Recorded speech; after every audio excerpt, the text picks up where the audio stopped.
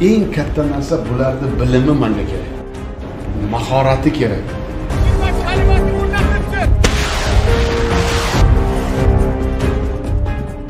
Jannatmakon diyorimizni tinchligini saqlash g'animlardan himoya qilish vatan sarhadlari daxlsizligini ta'minlash askaru zobitlarimizning burchidir. Ular xizmat jarayonida xotirjam huquqiy erkinlik va manfaatlaridan to'laqonlik foydalana olishlari uchun davlatimiz tomonidan qulay shart sharoitlar yaratib kelinmoqda. Yurt posbonlari va ularning oila a'zolari bilan o'tkazilgan sayyor qabulda muammo kamchilik takliflar ko'rib chiqildi. Nishon tumanida tashkil etilgan mazkur tadbirda qarshi shahar prokuraturasi mas'ullari ishga joylashish imtiyozli uy joyga ega bo'lish harbiy xizmatni o'tash uchun shartnoma pullarini to'lashga oid yordam ko'rsatish tadbirkorlik faoliyatini yo'lga qo'yish kabi masalalar yuzasidan o'ttizdan ortiq murojaatlar tenglandi va yechimga qaratildi. Mazkur jarayonga tuman hokimligi mutasaddilari tegishli soha mutaxassislari jalb qilindi.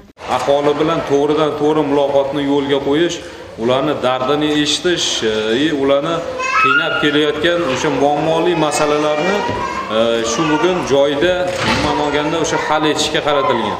Shu o'rinda men ham e, tuman e, elektr tarmoqlariga murojaat qildim va muammoyimni joyida bartaraf etib berishdi. Muhtaram prezidentimiz vatanga bo'lgan muhabbat va sadoqatda yurtimiz himoyachilari xalqimiz uchun oliy namuna bo'la oladi deya ta'kidlaganlar. Ushbu berilayotgan imkoniyatlar va muammolar yechimi osoyishtalik kafolati uchun xizmat qiladi.